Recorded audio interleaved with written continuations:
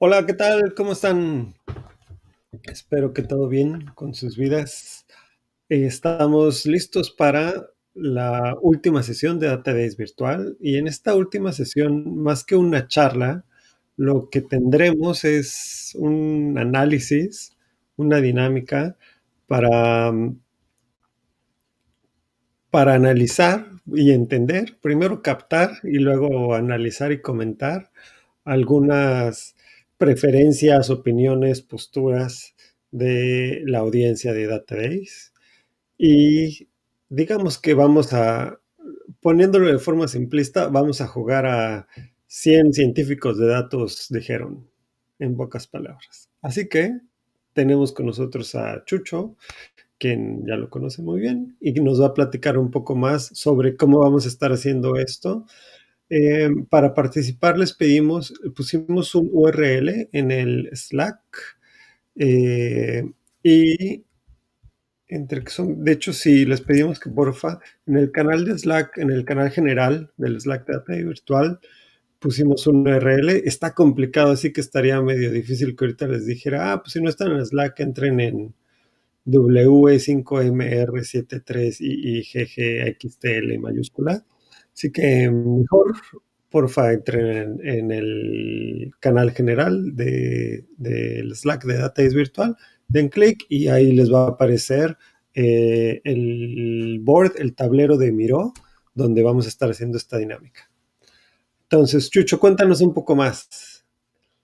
Gracias, Pedro. Eh, bueno, em, efectivamente vamos a jugar a 100, eh, científicos de datos, eh, dijeron. Em, esto iba a ser 100 científicos de datos mexicanos cuando el evento no iba a ser virtual. Afortunadamente ahorita que em, estamos en, un formato online, pues podemos recoger opiniones de, de, las personas que nos acompañan de toda de Centroamérica y algunos de Sudamérica que hemos visto ahí. Em, entonces, eh, la dinámica es muy sencilla, vamos a ir recorriendo las preguntas una por una y voy a dar yo algo de contexto. Em, para aquellos que eh, les gustan eh, las discusiones, em, las preguntas sí están simplificadas. hay muchos matices fuera de lo que se puede representar en, en, un solo espectro, en un solo eje. pero aún así parece sirve el contexto que les voy a dar. Entonces, em, eh, eh, también recuerden que eh, para aquellos que nos están viendo a través del live stream y además acompañándonos en, la plataforma de Miro, em, hay un, hay un este, delay, tenemos un delay, entonces hay un delay en el audio, hay un delay en la transmisión y entonces cuando comencemos a contestar preguntas, pues naturalmente ustedes lo que muevan en el Miro, van a verlo eh, con retroalimentación inmediata, mientras que eh, en el live stream lo van a ver eh, algunos segundos diferido. entonces, esto es obviamente normal. Em, entonces, para comenzar, pues vamos a dar unos minutos para que lleguen todos. Ahorita tenemos 14 personas. Em, les voy a solicitar que no editen el board. Em, y la manera en la que vamos a llenar es, si ustedes ven mi mouse aquí, que creo que dice Jesús, Em, aquí les puse una, eh, una pequeña, em, un pequeño sticky note. Em, y este sticky note, lo único que van a hacer ustedes es eh, darle control C, control V, van a pegarlo y van a ponerlo en algún lado del espectro donde ustedes se consideren. Eh, pueden ponerle su nombre si quieren o pueden no ponerle su nombre. si este yo le quisiera poner mi nombre, entonces le pongo o sus iniciales eh, por ejemplo, le puedo poner em, eh,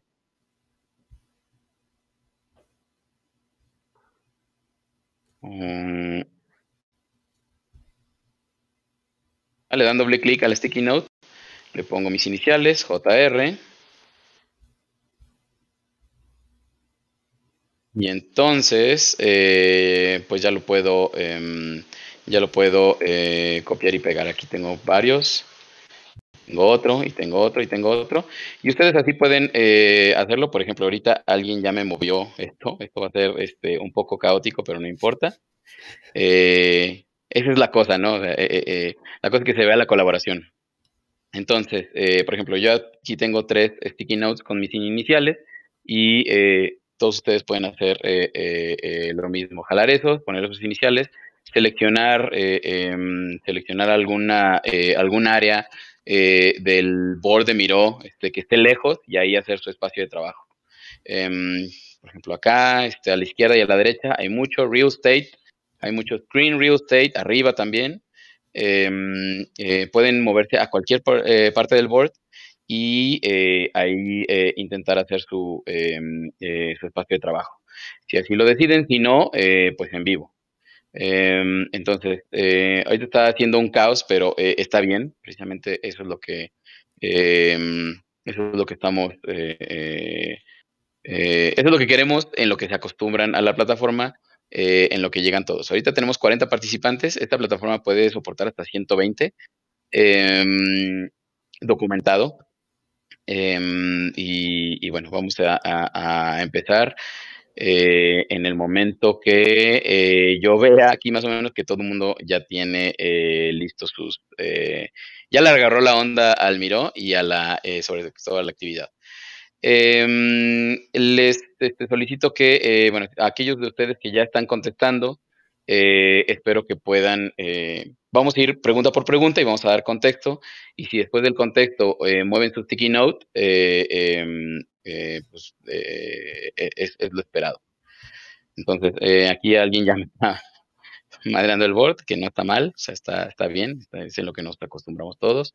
Ya llevamos 48 participantes. A ver, ¿qué está sucediendo entonces? Déjame ver si puedo entender porque yo nunca he usado Miro. Entonces, lo que parece que está sucediendo y espero estar viendo lo que debería estar viendo es la gente está selecciona un sticky note y lo pone para cada una de las preguntas lo pone en algún lugar de la línea, ¿no? Entre la en el espectro, en el espectro donde ellos consideren eh, que se encuentra su opinión.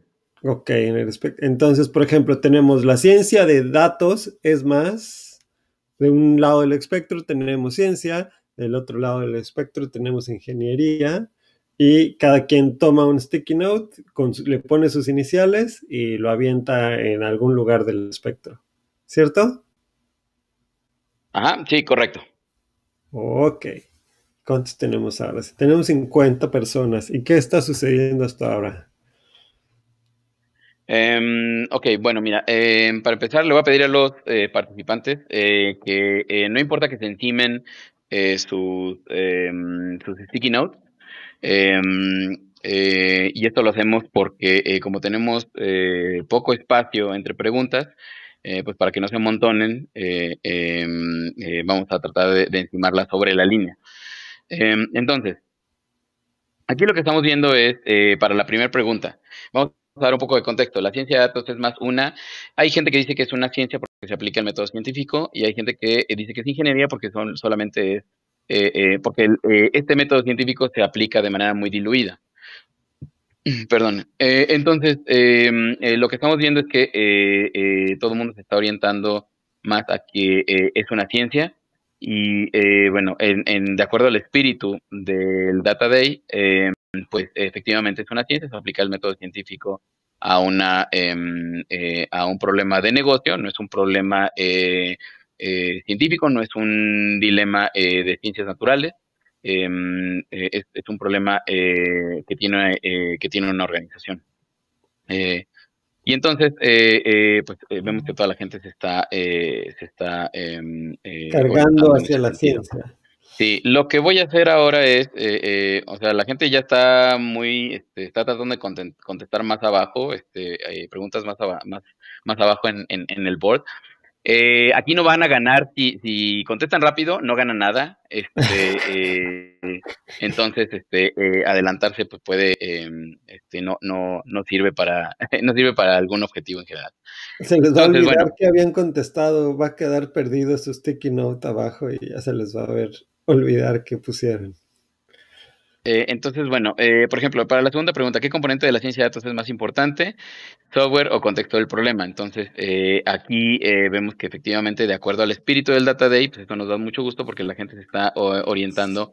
Eso estaba muy sencilla, eso estaba muy papita. no creas, ¿eh? hay gente que, que definitivamente este, sigue diciendo que el software es más importante y bueno, pues son las personas que toman a su tool como religión y se casan con Spark y ya no pueden hacer otra cosa. Y son las personas que, que, eh, eh, son, que se casan con un lenguaje de programación y bueno, lo convierten en su, en su religión, la defienden. Eh, y bueno, pues ya conocemos a varios de estos. Espero que en, en la, el Data Day, en las sesiones, si teníamos algunas de esas personas, pues mm, hayan, hayan cambiado de, de parecer. Entonces, esto está interesante. ¿Perdón? No, en serio, digo, en mi caso sí, viniendo del más del desarrollo de software, sí, definitivamente hay gente que se casa con una herramienta, una tecnología, un vendor y lo defienden a capa y espada ante todo.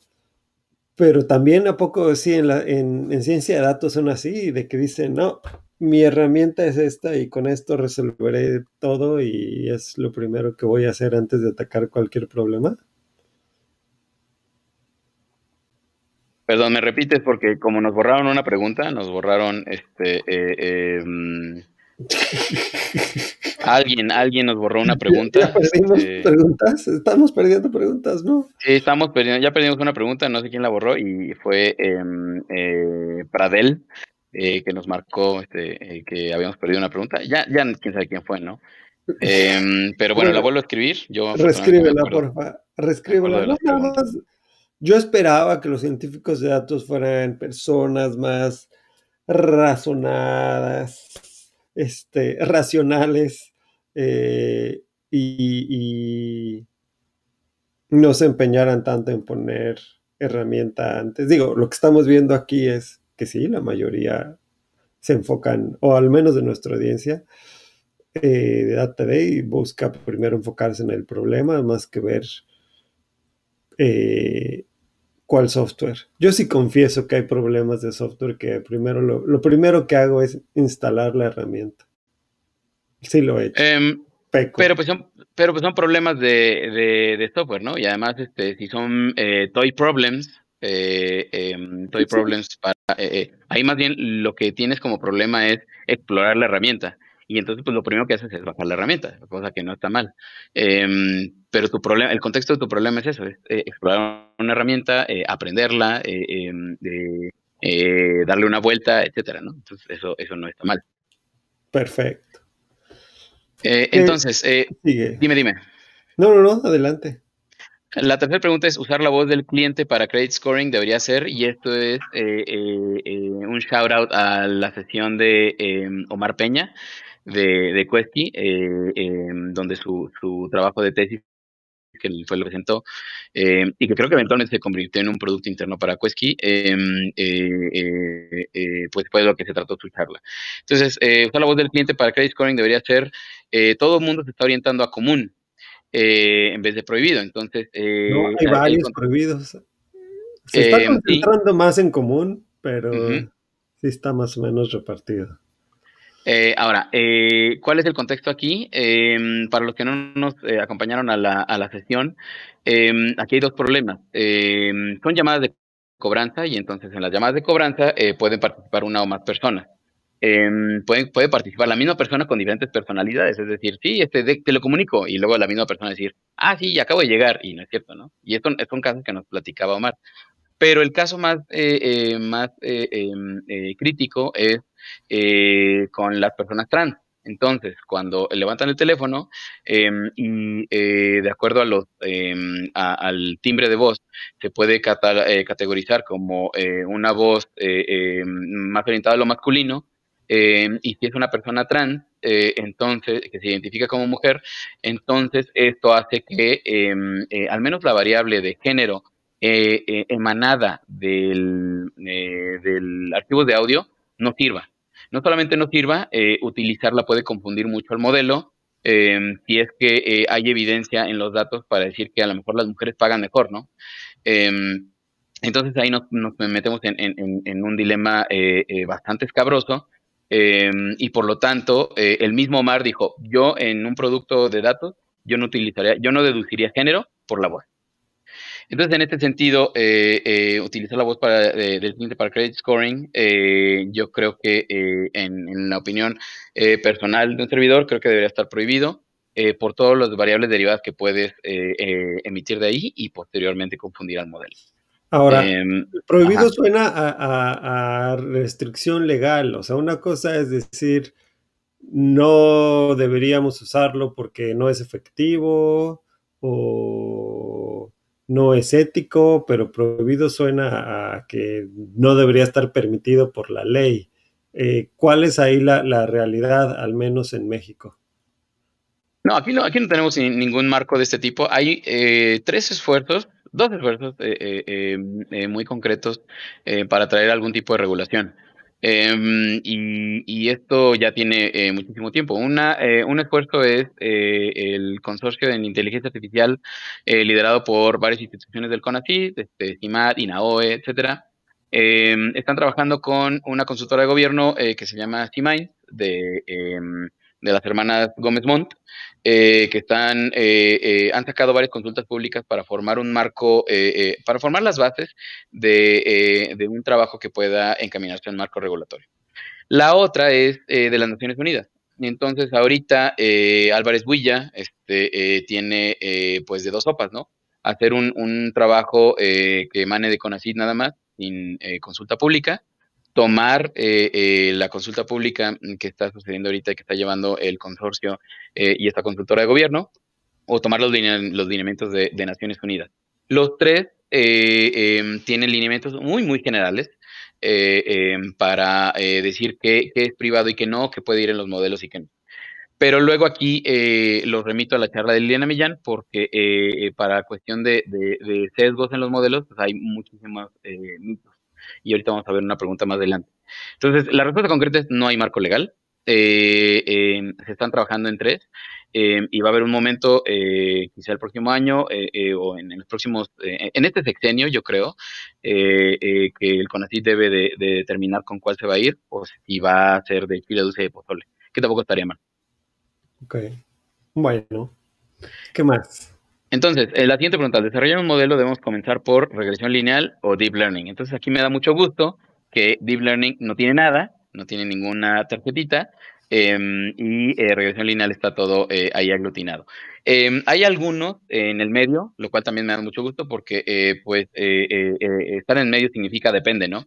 Y pues naturalmente, o sea, vamos a utilizar un, un clasificador, este, em, no sé, un SBM para visión por computadora, pues a lo mejor ya no es, este, ya no es eh, tan, eh, ya no resulta tan efectivo.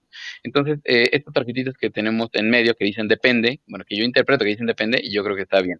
Y me da mucho gusto em, que em, esto, la lección, de las lecciones aprendidas de la charla de Rafael, em, una de las lecciones fue, está bien no comenzar con modelos fancy desde, un inicio, está bien irse con modelos chapitas desde un inicio, y al parecer esta lección, pues sí, sí trascendió. Entonces está muy bien. Y ahí, ¿qué tanto, o sea, eventualmente llegan las herramientas a un punto en el que dices, pues todavía no sé bien qué onda, pero pues dale al deep learning, nos sale barato, nos sale rápido y, que nos ayuda a entender el problema. Ahora sí que pícale push a ver qué pasa. Em, cuando el problema, cuando el, objetivo es, eh, eh, eh, como tú lo decías, explorar la herramienta, creo que se vale. Em, pero, por ejemplo, para, de un modelo de deep learning yo no sacaría ninguna conclusión y estamos en una etapa de pícale a ver qué sale. Porque las lo que vamos a concluir no es del problema de negocio, es, el, es de la herramienta. ¿qué podemos concluir de, de, de bájale, bájale, eh, bájalo, pícale y a ver qué sale? Lo que podemos concluir es, se, se, usa fácil, tienes que instalar esto, tienes que tener estas librerías como prerequisito, no sale en Ubuntu, ese tipo de cosas son las que puedes concluir si tu pregunta es, bájale, bájalo, pícale y a ver qué sale. Ok, va. Lo cual no está mal, o sea, de nuevo, o sea, eh, eh, muchos de nuestros hermanos de Event Loop em, se, se echaron porras cuando eh, salió una librería de Deep Learning en JavaScript. Lo primero que hicieron fue exploratorio. Exploratorio no de un problema, sino de la herramienta. Y no está mal. Okay. Entonces, eh, em, la siguiente pregunta es eh, sobre la charla de Adolfo Dunanue.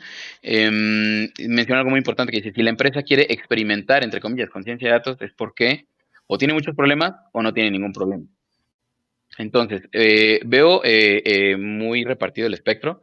Y bueno, les doy un poco de contexto. En la charla de Adolfo, él mencionó, bueno, cuando una empresa quiere hacer ciencia de datos en serio, se va primero por el problema y lo identifica em, en vez de andar prototipando. cuando una empresa no es seria y no tiene ningún problema em, táctico o ningún problema operativo que le quite el sueño, eh, pues entonces puede eh, gastar eh, presupuesto en experimentos. Y esto es algo muy controversial, ¿no? Porque, em, o sea, el argumento de, Adolfo es, em, pues si le vas a entrar a esto, échale todo el carbón, ¿no? Em, pero ningún, yo no he conocido ningún directivo, ningún tomador de decisión que, que, diga, va, o sea, este, voy a tomar este problema que tengo operativo y vamos a meterle eh, eh, ciencia de datos, machine learning en todos los aspectos del problema. Las empresas siempre son, vamos a hacer un piloto, vamos a hacer algo pequeñito, vamos a ver si jala y siempre andan eh, a tientas. Em, y bueno, esto ahí Pedro me vas, a, me vas a poder complementar tú, pero yo lo que creo es que pues estamos llenos de subsidiarias. las empresas que pueden hacer research real eh, eh, básicamente están en los headquarters de estas empresas subsidiarias. Por ejemplo, si Citi quisiera hacer research, pues no lo van a dejar porque su research viene de Nueva York. Eh, si alguna farma quisiera aplicar ciencia de datos en su research aquí en México, pues aquí en México es pura distribución. Sus centros de research están en, en, en Bélgica, en Suiza, etcétera, etcétera. Entonces, eh, eh, pues eso yo creo que sofoca un poco eh, la cuestión de research y por lo tanto la lana que le, que le podemos meter a estas iniciativas. Y por lo tanto, pues andamos siempre a tientas y por las ramas y mejor algo chiquito, mejor este problema pequeño, este, eso que no está mal, inclusive así lo recomienda Andrew Ng en su playbook. dice, pues comienza con algo pequeño y demuestra valor ahí, es un low hanging fruit. Em, pero la posición de Adolfo es, este, eh, eh, es definitivamente controversial porque, eh, pues sí, ¿no? Si tienes un problema grave que llevas años queriendo resolver y no lo has podido resolver, pues entonces métete con métete con Machine Learning y métele todo el carbón al asador. Pedro. Pues yo creo que el dilema ahí, o un poco el riesgo es, si, o sea, para mí como conservador, ¿no? Es le voy a, o sea, si todavía no tengo expertise, o sea, a nivel organización, soy poco maduro analizando datos, o sea, no tengo todavía el, el, skill desarrollado entre mi gente internamente, este, no sé si haya un framework para medir madurez de datos de organizaciones o madurez de análisis de datos, pero imagínate que estoy en una etapa temprana y, me meto a mi problema serio con toda la carne en asador. Yo, yo personalmente, híjole, no, no, soy, no soy así, ¿no? O sea, primero digo, a ver, voy a entrenarme con un, primero voy a hacer el tutorial one on one antes de echarme al problema serio, ¿no? Entonces, digo, entiendo cómo el, si vas, vas en serio, ahora sí que si te vas a mojar, échate un clavado, pero al menos en mi caso, sí es, híjole, pero pues, ¿cuánto me voy a gastar en aventarme al, problema en serio desde un principio, en lugar de primero aprender un poco, ¿no? La pregunta del millón es, ¿tienes tiempo para aprender o no? ¿No? O sea, si, si tu industria, tu empresa tiene el tiempo para poder aprender y luego ya resolver el problema, o sea, aprender con un problema pequeño con, las rueditas, poniéndole las rueditas a la bici y ya después que, que sabes andar sin rueditas, meterte al problema serio, o si no, en lo que aprendes y con las rueditas ya te dejó la competencia, ¿no? Que cada vez se da más eso, entonces creo que ahí es donde está el dilema, ¿Qué, ¿cuál es la dinámica en tu sector industria eh, y la situación de tu empresa para ver si, si le entras. Ahora, regresando al tema de las subsidiarias, definitivamente digo, e, es algo que se da e, en, México, este, que, todos vemos, ¿no? Como, em, o sea, si quieres hacer desarrollo de productos nuevos, es difícil desde una subsidiaria lo que nos piden es tú, eh, ahora sí que el corporativo le dice a subsidiaria, a, ti no te, tu trabajo no es desarrollar producto, es venderlo, ¿no? Este, entonces sí, tal vez sea difícil crear, hacer investigación para desarrollar un nuevo producto, pero lo que sí se da mucho es investigación para vender y para mover el producto, ¿no? Y, muchas de las iniciativas de, datos más interesantes que, que, hay en Latinoamérica van alrededor de logística, ¿no? Porque obviamente ahí sí pues el corporativo, por muy bien que sepa hacer la fórmula del refresco, este, pues el que sabe cómo moverla es, la, distribuidora local, ¿no? Y eso va a ser distinto en cada país o en cada región. Sí, precisamente por eso eh, em, eh, yo creo que el, eh, esquema de, toda la carne, todo el carbón al asador de, de, trancazo, Em, se me hace que se puede dar eh, eh, cuando em, las decisiones están concentradas en, esa organización. Em, cuando eres top tier, eh, por ejemplo, no sé, yo creo que de Coca-Cola Company se puede dar el lujo de ese tipo de, de, iniciativas.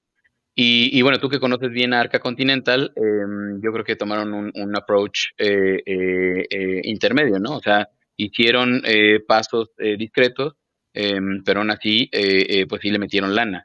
Em, pero, por ejemplo, imagínate la cadena alimenticia de las empresas, ¿no? O sea, Coca-Cola Company y luego Arca Continental, su mayor este, embotelladora en, en, Latinoamérica, y así te vas para abajo, ¿no? Hasta llegar al proveedor de, de, no sé, de personal de limpieza para eh, las embotelladoras, para las fábricas embotelladoras.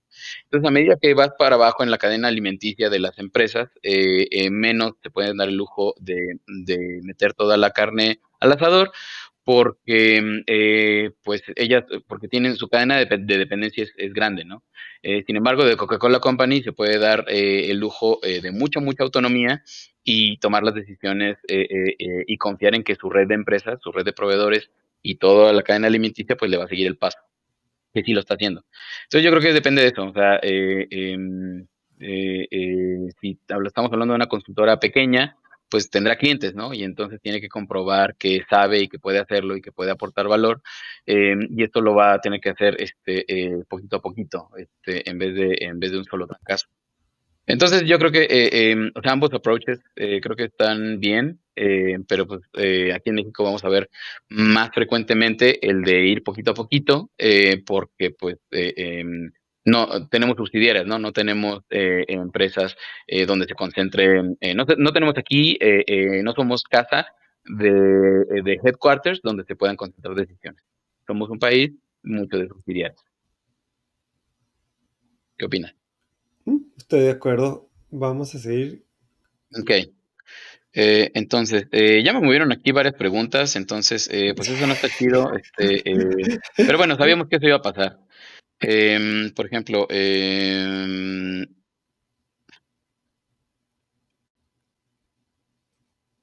este, no sé, no sé dónde me lo, me lo dejaron aquí en el Data Lake. Ya no sé dónde está. ¿Cuál era la pregunta y cuál era el espectro? Ahora, no, ahora me, me, me robaron una, em, una, una respuesta, pero, pero yo la replico. Entonces,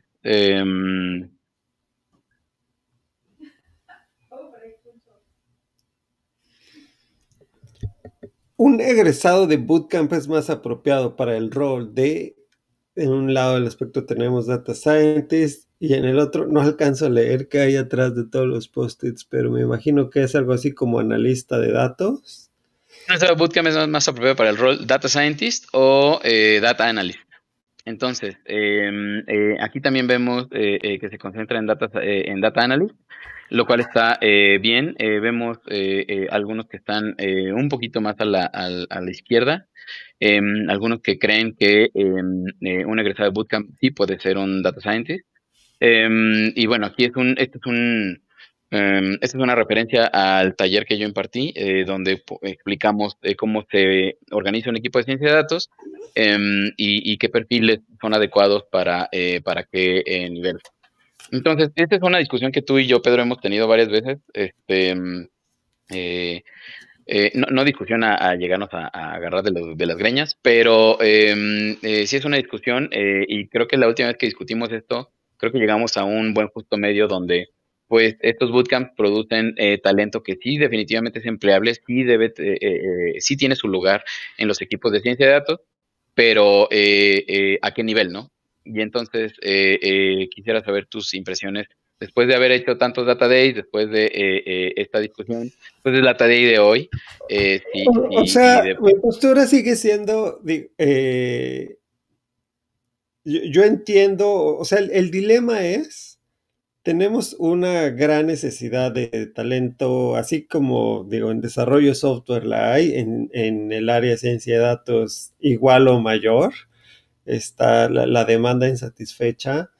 Eh, si queremos que todas las personas que hagan eso tengan que ser em, gente graduada de, matemáticas, actuaría o que hagan una maestría de dos años este, en ciencia de datos, pues tacanijo, ¿no? O sea, no, no vamos a lograrlo definitivamente. Eh, entonces, justamente eso es como lo que busca. Y además, pues muchos de nosotros o, muchos profesionistas que estudiaron pues otra carrera, eh, están en otra profesión, quieren moverse al área de ciencia de datos y no les da el tiempo o el presupuesto para estudiar una maestría de dos años, ¿no? O para reestudiar una carrera de cuatro años en matemáticas, ¿no? Entonces ahí es un poco donde yo siento que entra el, lugar, el espacio de, los bootcamps y, como decía ayer, comentaba, pues también de, oferta educativa eh, fuerte en matemáticas, como la que da Burbaki, eh, para todos los que pues no podemos cursar una maestría, ¿no? Entonces, yo sí entiendo el la preocupación o la postura ante el, sí, sin duda de, debe haber bootcamps, esperemos que, cada vez menos, este, pero pues sí, si te encuentras los bootcamps este, que te dicen, ah, sí, en, no sé, en, tres meses eres científico de datos, ¿no? O sea, de, cero a científico de datos en tres meses, este, y, y pues no, ¿verdad? Ahí sí está canijo. Eh, a lo mejor, y, ahí es donde está claro, bueno, cuál es el alcance, ¿no? ¿Qué vas a poder empezar a hacer? Ok, de cero analista de datos en tres meses, creo que sí, está bien. De cero científico de datos, pues ahí sí ya es donde, pues más bien, yo creo que uno como profesionista y e igual la, la empresa, la industria, pues debería, si, si ve bootcamps así, pues decir, no, pues estos tienen tache, ¿no? O sea, no, no, no, es, es como, sí, es como cuando ves a alguien que te está vendiendo algo que dices, no, este me está, algo huele mal, ¿no? Este, si me está vendiendo un, un, algo que suena demasiado bueno para creerse, ¿no? Sí, sí, estoy, ajá, vas, vas, vas algo que, yo creo que también es interesante y espero se siga dando más, ¿no? Es este rol, o más bien esta aclaración de los distintos roles, ¿no? O sea, que, que no existe, no es nada más, ah, sí, tienes al científico de datos que es mágico y hace todo y hace ingeniería de datos, hace eh, modelos este, matemáticos y algoritmos y hace visualización de datos y hace storytelling y además este o sea, es Juan Cameney que, que es bueno para todas estas cosas y que, que estemos entendiendo, digo, creo que la primera separación que se hizo fue, ok, una cosa es la, lo que hace el científico de datos que su fuerte son las matemáticas y los modelos, analizar el problema y usa herramientas matemáticas para eso. Y aparte está el ingeniero de datos, que con lo que se pelea es cómo le hace vía software y vía programación y gestión de infraestructura es, tecnológica para poder, ahora sí que para habilitar la gestión y análisis de esos datos, pero pues él no se anda metiendo con el modelo matemático, ¿no? Entonces creo que eso es como la primera que hicimos pero hay más, más este, roles que, que conforme van madurando las organizaciones y la práctica de esto, eh, se entiende que, ah, no, pues sí necesitamos a alguien bueno para visualización, ¿no? Y, y, no necesariamente va a ser el que es bueno para los modelos matemáticos. Sí, yo estoy totalmente de acuerdo. Ver, yo quisiera ver los bootcamps también hacia eso, ¿no? O cursos y este, oferta educativa eh, enfocada también a eso. A los roles intermedios. A los roles intermedios. Sí, estoy totalmente de acuerdo. Eh, em, y bueno, aquí comercial, nosotros no hicimos comercial, pero así lo vamos a hacer. Em, eh, este es el training que, que nosotros eh, en la Sociedad Mexicana de Ciencia de, Ciencia de Datos perseguimos. O sea, em, los bootcamps naturalmente tienen este incentivo económico de ser flashy y etcétera, ¿no? Y, nosotros al ser una non-profit podemos lanzar un, curso de Data Translator y tener a lo mejor cuatro alumnos. Y no pasa nada, ¿no? Porque, o sea, eh, finalmente esos cuatro, esas cuatro personas pues van a eh, salir con los skills que nosotros este, eh, anunciamos en el curso. Eh, entonces, pues esa, esa desalineación de los de, incentivos perversos, pues podemos, con eso podemos orientar la educación a esos, a esos roles intermedios. Y sí estoy de acuerdo, o sea, entre más se polarice el científico y el ingeniero de datos, pues menos common ground va a haber y por lo tanto eh, eh, va a haber más falta de estos roles intermedios. Entonces sí está muy interesante eh, la conclusión. Y a medida que las empresas maduran, vamos a ver más necesidad de esto, pero con una narrativa polarizada, pues no va a haber este, estas coincidencias. Y eso es grave.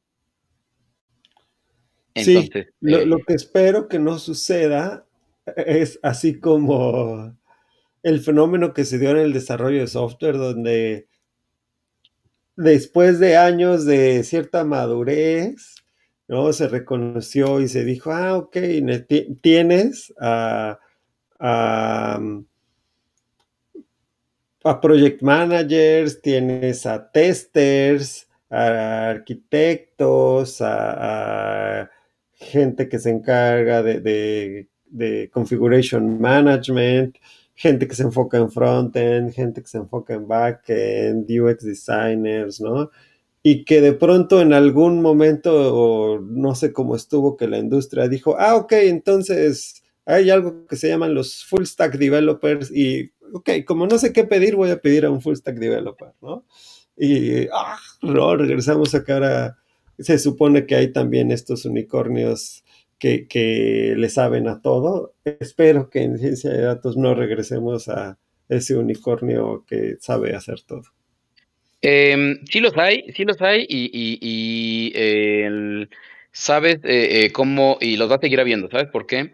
Em, porque eh, a medida que entras, independientemente del background que tengas, ¿no?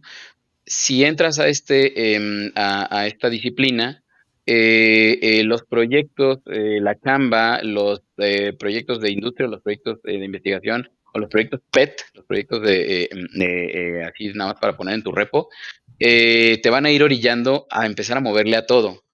Y entonces, por ejemplo, en la fundación Data oh, mi Dios, Oh, mi Dios, acabo de googlear Full Stack Data Scientist y sí No, sí, sí existe, sí. Y, hay un anuncio de Top Tal que dice contrata a un full stack data scientist. Ay, bueno, pero pues es total. Em, no, bueno, eh, eh, eh, o sea, sí los hay, y los que lo son, o sea, los que realmente le mueven a todo, no se van a llamar así. Entonces, por ejemplo, te decía, la Fundación Data Science for Social Good, todos los niveles seniors este, que tienen, Em, pues realmente le mueven a todo, o sea, eh, eh, le mueven a, infraestructura, a las VPCs, em, pero también a los modelos. Pero pues cuando ves eh, la edad de todos, este, pues todos andan en los este, cuarenta y tantos, este, em, el más joven yo creo que tendrá 37. Chao. O sea, sí, pero significa que llevan en esto a lo mejor más de 10 años. Y entonces eso ya te dio callo para moverle a todo. Eh, entonces, eh, sí los hay, son pocos y no se, no se adquiere más que con calle y con experiencia y dándote de trancazos eh, contra todo tipo de problemas. Pero no, no, no es algo que salgas sabiendo de un bootcamp o ni siquiera de una maestría. Que sí, vamos a abrir, podemos el abrir el chat. Vamos a abrir el chat. ¿Cuál chat? ¿En, Miro o en Crowdcast? Ah, en Crowdcast. Eh, ¿Quién me escucha que esté como admin de Crowdcast? ¿Pueden abrir el chat de Crowdcast? Porque ahorita en lo que yo entro, ni me acuerdo cuál era el, el login. Pero uno de nuestros administradores, porfa, que nos escuche, puede prender. Ok. Bueno, sigamos mientras, Chucho. Y entonces, eh, vamos a irnos más rápido porque no sé cuánto tiempo tenemos. Em, ya deberíamos estar terminando, así que vamos a seguir, seguir.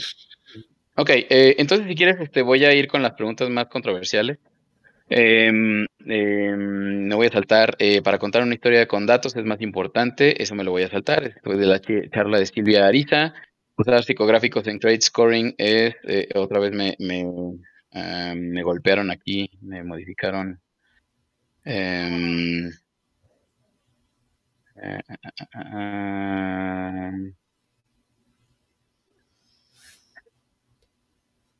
¿Es una pregunta por sesión, más o menos?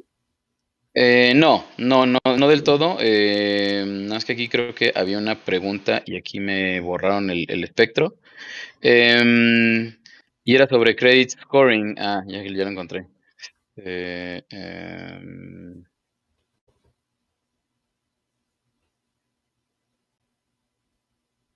aquí está pero también me la voy a, me la voy a saltar. Entonces, este, usar psicográficos en credit scoring es una respuesta similar a la de utilizarlo. Em, data Lake, no, científico de datos. Um, ok. Eh, esta de los, del máximo grado de estudio del científico de datos, pues ya más o menos la cubrimos con la anterior. Eh, el número de decesos reportados. Eh, ¿En qué etapa del proceso? Em, ok. Eh, entonces, eh, ¿en qué etapa del proceso de ciencia de datos automatizamos, más con driverless AI? Y esta es eh, una referencia a la charla, al taller de, em, de H2O. aquí vemos que las preguntas, las respuestas se aglutinan en Model Monitoring, más bien tantito antes de llegar al extremo de Model Monitoring.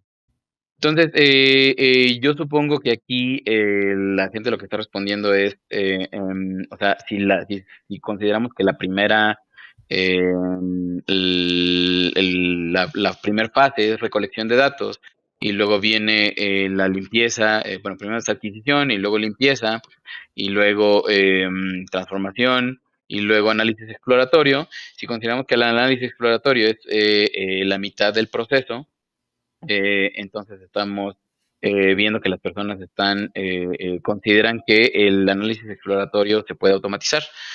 Em, y eh, yo creo que no, y, de acuerdo a la experiencia que eh, he tenido en diferentes proyectos, yo creo que no, porque eh, en el análisis exploratorio es donde se validan las hipótesis de negocio.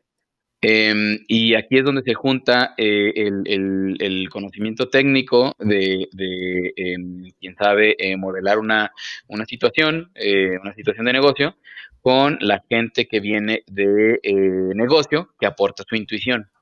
Entonces, ahorita todavía no tenemos eh, eh, eh, ni siquiera GPT, o sea, ni, siquiera si las narrativas de negocio las metemos a GPT, vamos a poder lograr em, mining de conocimiento en automático y por lo tanto algo que, ayude a, dirigir el análisis exploratorio en automático.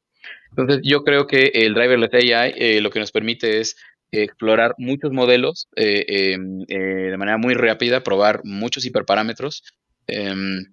Eh, llegar a, seleccionar el mejor modelo y en el monitoreo subsecuente, o sea, que el modelo no le dé Alzheimer, no le dé no le suceda temporal drifting. Eh, todas estas tareas son más de ingeniería y sí se pueden automatizar. Pero el análisis exploratorio, que es donde se validan las hipótesis de negocio, a mí se me hace muy difícil todavía em, eh, em, automatizarlo. Eh, no sé qué, eh, yo, yo lamentablemente no pude asistir al taller de H2O, he asistido a, otros, a otras sesiones de H2O, he visto su driverless AI y bueno, esto es lo que puedo concluir, pero no sé si eh, Pedro, si tú la viste o, em, o, o, hayas hablado con ellos, en que hayan mostrado algún feature donde digan, sí, sí, podemos, em, sí podemos automatizarlo.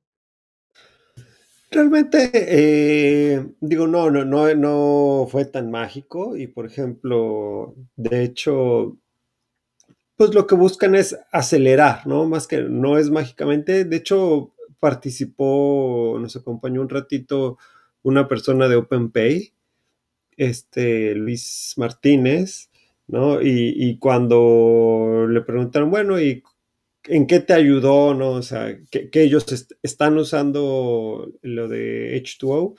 Em, y digo, cuando le preguntan, bueno, ¿y cómo te ayudó? Que dijo, bueno, o sea, de que nos tardábamos meses en, desarrollar un, modelo y poder probarlo, pues ahora se nos redujo a semanas, ¿no? Este, lo cual me parece razonable, ¿no? Ya si hubiera hecho, ah, no, no tuvimos que hacer nada, de un día para otro ya estaba mágicamente, pues si hubiera sido de, nada. Em, pero sí, o sea, realmente lo que noté y, el enfoque es, pues vamos a acelerar la comprensión del problema y la elección de, de, modelos, ¿no? O sea, vamos a acelerar nuestros experimentos para poder eh, escoger el modelo adecuado más rápidamente. Mm, ok, eh, eh, va, más o menos en sintonía con, lo que conocemos de ellos.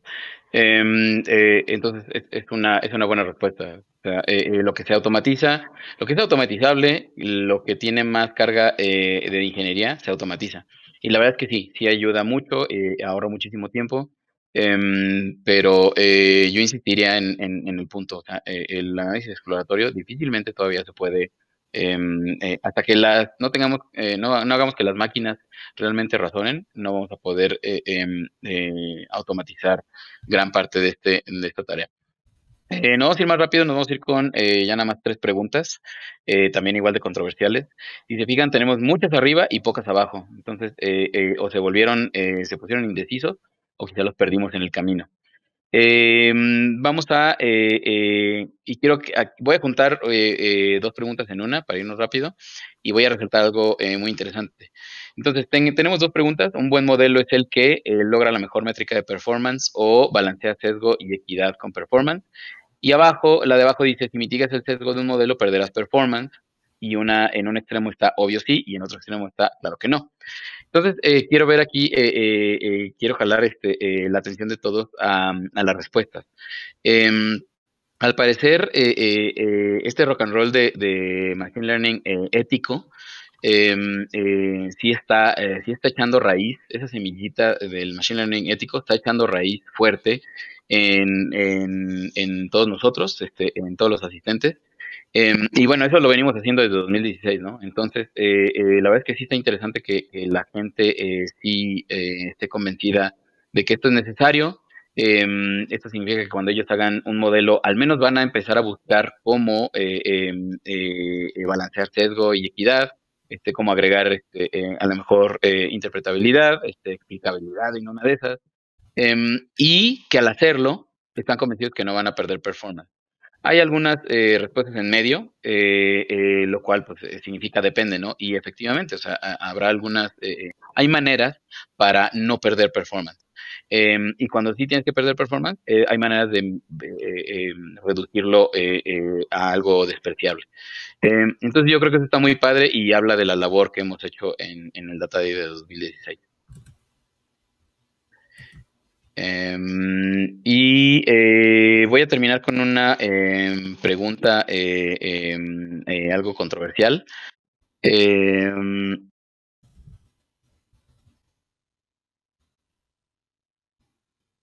Alguien puso esta última.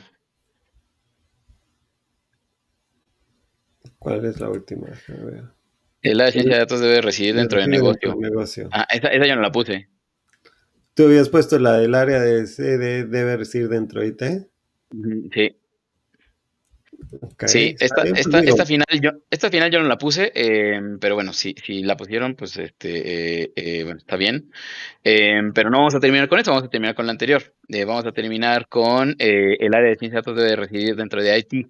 Y también esta es otra discusión, Pedro, que tú y yo nos hemos echado también este, hasta el cansancio, y las respuestas han cambiado a medida que ha avanzado el tiempo, ¿no? Em, vemos aquí las respuestas bastante variadas, o sea, eh, desde no, no hay capital político ahí, o sí jugamos un rol estratégico, eh, estratégico en la organización.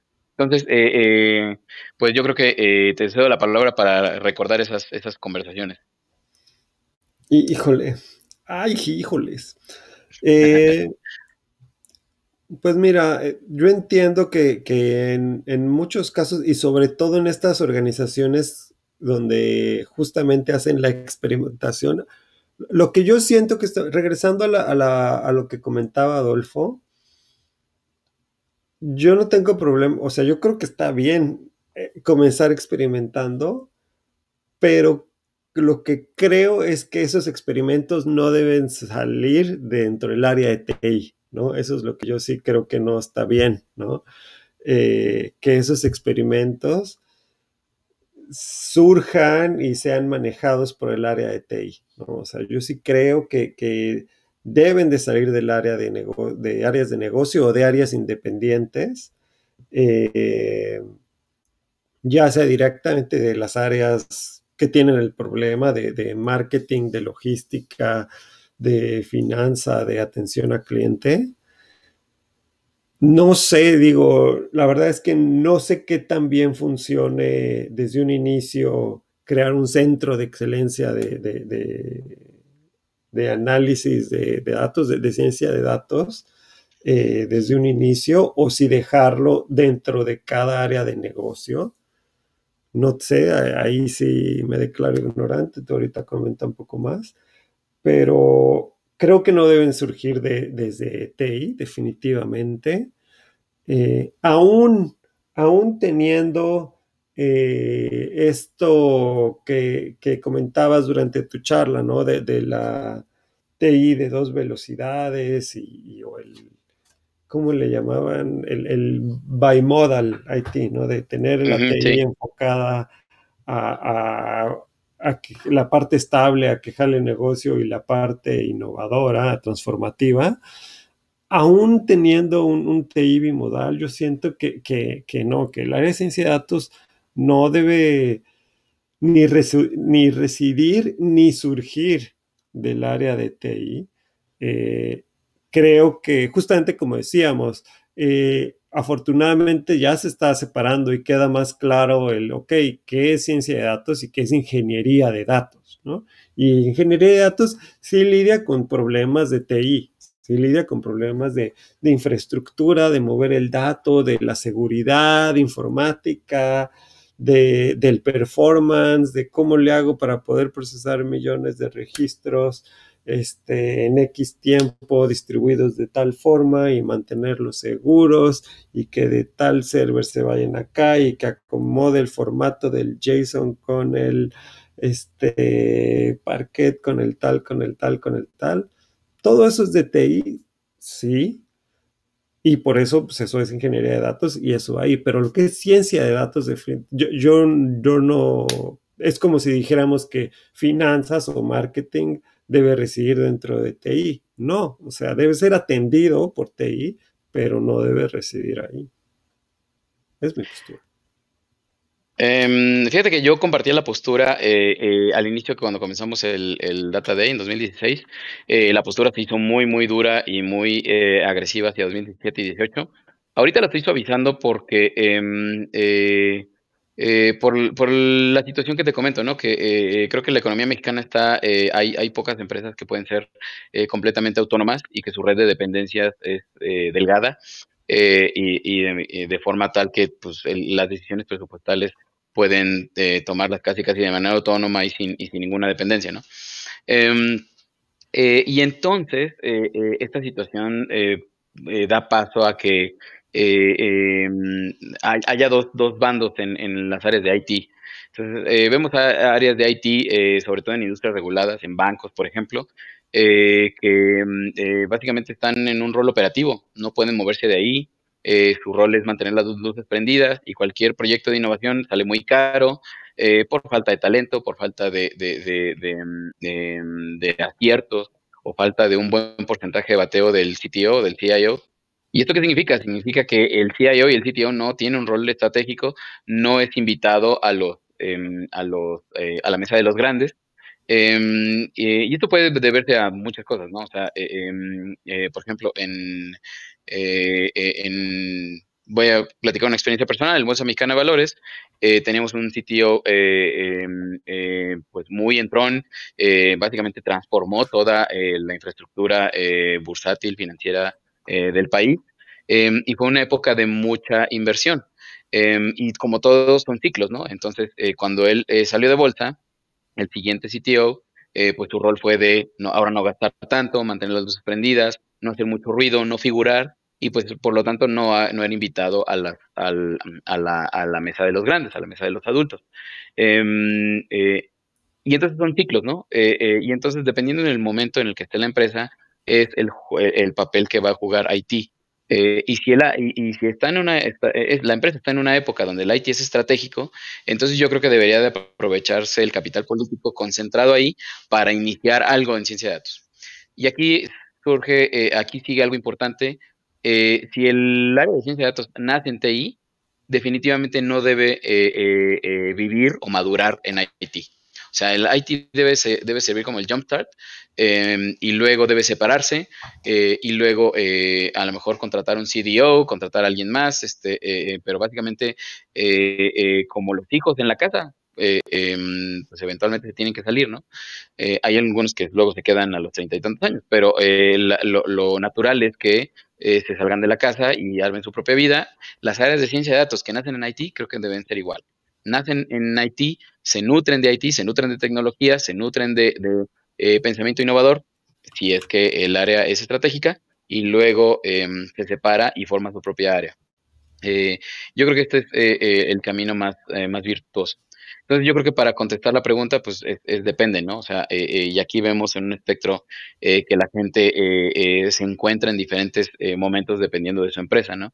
Em, hay algunos ahí hermanos de, salud digna que nos, que nos acompañan ahí y em, no recuerdo cómo va su historia de nacimiento de su área de ciencia de datos, pero em, creo que también se nutren de TI, pero ahorita son un área autónoma. sí, sí, y, habrá otros de banco Mm.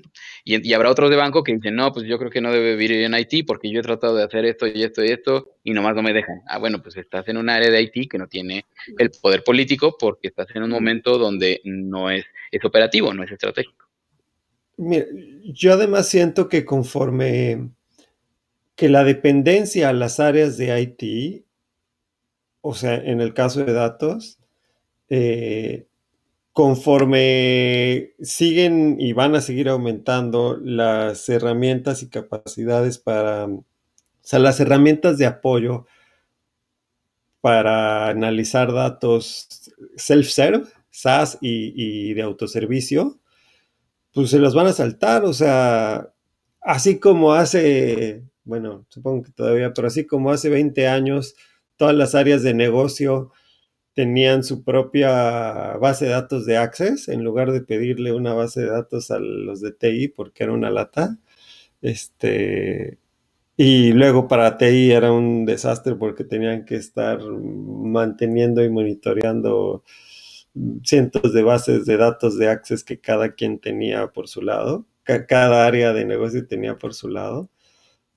Pero o sea, eso, si, no, si, si obligamos a, que ciencia de datos tenga que estar en TI o, a fuerza usar al departamento de TI, pues va a terminar sucediendo eso, que no me imagino que ya sucede, ¿no? A, nivel de BI sucede, ¿no? O sea, todas las áreas de negocio que agarran y sacan la tarjeta y contratan su tabló este, sin avisarle a TI para nada, ¿no?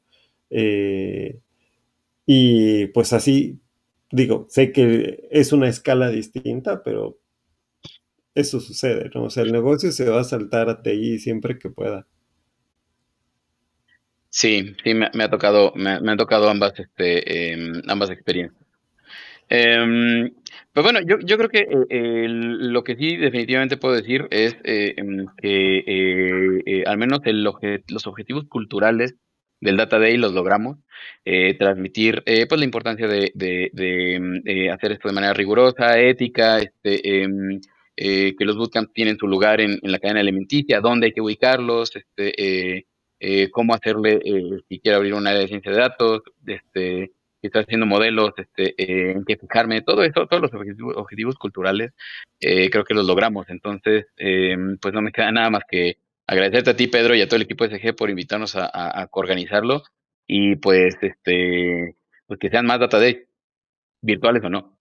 Seguro. Todavía no sé si el año que viene va a ser virtual o presencial. Andamos justamente en eso. Pero bueno, ya les, les contaremos más. Entonces, un gusto, Chucho. Gracias por, eh, por apoyarnos y estar como char de contenido. Vamos a proceder al cierre de esto.